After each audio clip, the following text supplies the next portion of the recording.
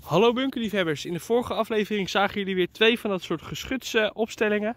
En we gaan nu hier even kijken. Dit ziet er echt uit als een bedding, waar we dus net wat brokstukken van hadden in uh, aflevering 1. Kijk. Dit is echt een bedding waar geschut in heeft gestaan.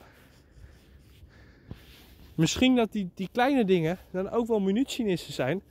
Want die achteringangen zitten dan hier om het door te geven aan de bedding misschien wel. Kijk. Dat is die uh, eerste van de vorige aflevering. Die heeft nummer 53. Deze die had 52. Volgens mij. En deze heeft 4, 55. En dat is dan vermoedelijk zo'n mini bergplaatsje. Ja kijk. Als je wat meer van die dingen bezoekt dan begin je het in één keer te snappen.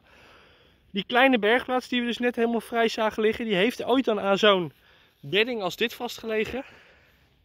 Daar zit nog een bergplaatsje. Dat is 54. Erg interessant. Misschien dat we daar net een kleine bergplaats hebben gemist. In aflevering 1, maar daar is de bedding ook gesloopt. Kijk. Dit is zo'n uh, bergplaatsje die we net ook hadden. Die heeft waterleiding Duinen nummer 55. En dan volgen we even de contouren van deze bedding. Volgens mij voor, voor vlak of misschien ook wel voor, voor, voor landverdediging. Het was uh, niet echt vooronderzocht deze trip voor vandaag. Maar wel erg interessant. Het is ook een heel mooi gebied, de waterleiding Duinen. Je hebt een duinkaartje nodig, kost 1,50. Is ook geen ramp. Dit is ook zo'n uh, bergplaatsje. Dit is waterleidingduinen nummer 54.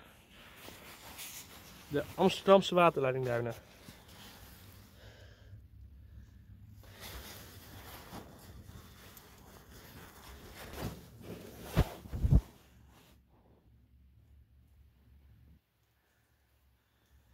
Dus dan weten we nu dat die kleine munitienissen en die soort van geschutsbunkers bij een bedding horen.